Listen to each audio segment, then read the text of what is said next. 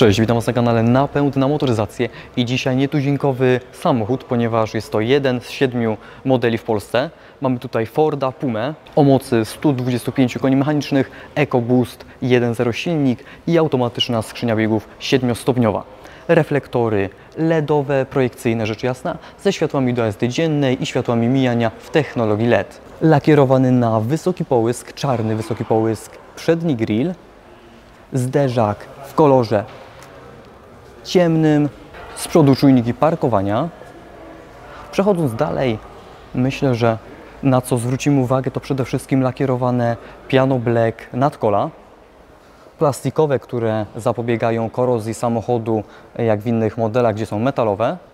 Ciekawy styl, ponieważ mamy tutaj e, felgi w kolorze białym i dach w kolorze białym. Tak oto prezentuje się e, cała bryła samochodu.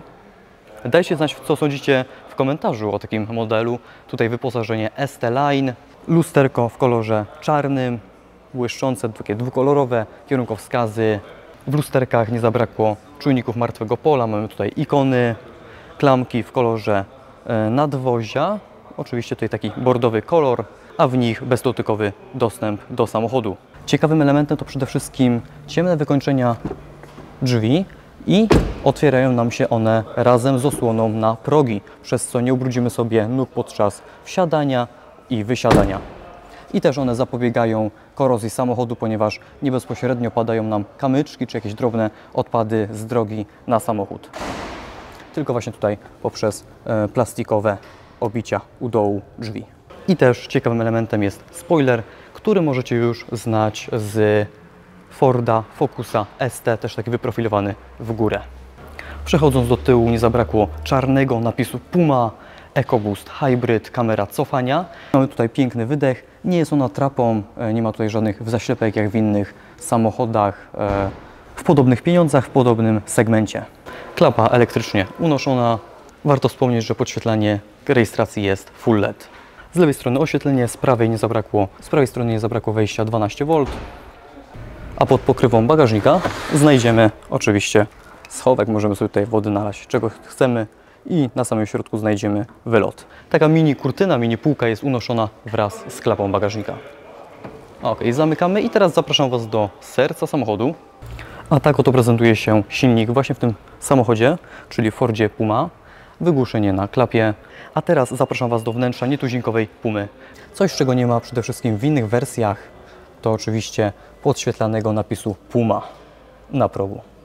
Tak oto prezentują się fotele. Kierownica spłaszczona u dołu, obszyta skórą. Jest ona oczywiście podgrzewana. Z lewej strony ustawienia świateł. Przed kierownicą wirtualne zegary.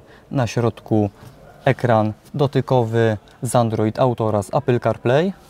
Poniżej ustawienia klimatyzacji, nawiewów, podgrzewania fotela kierowcy, jak i pasażera trójstopniowe, wejście USB oraz 12V, automatyczna skrzynia biegów, jak wspominałem, a tam przyciski m.in. do trybów jazdy, kontroli trakcji, włączania, wyłączania czujników parkowania, e, parkowanie samochodu automatyczne i system start-stop. Dwa cup foldery i tutaj moim zdaniem ciekawym elementem to przede wszystkim ręczny manualny. Dajcie znać, co sądzicie o tym w komentarzu podłokietnik miękki i oczywiście w nim mamy schowek. Podsufitka ciemna, ogólnie też wykończenia wnętrza w kolorze ciemnym. Jeszcze powracając do drzwi, tutaj otwierają nam się one z takim elementem, w sumie troszeczkę dalej niż w innych samochodach. Szyba nie jest zaraz przy samym lusterku, ale mamy tutaj taką lukę. Więc też ciekawe urozmaicenie e, w tym samochodzie. Z tyłu kanapa, a w niej nie zabrakło mocowań na fotelik dziesięcy Isofix, elementy skóry. Na środku można sobie tam wrzucić do schowka jakieś tam małe rzeczy, czy nawet telefon. Dwa gazetowniki i one są wykonane z takiej siateczki.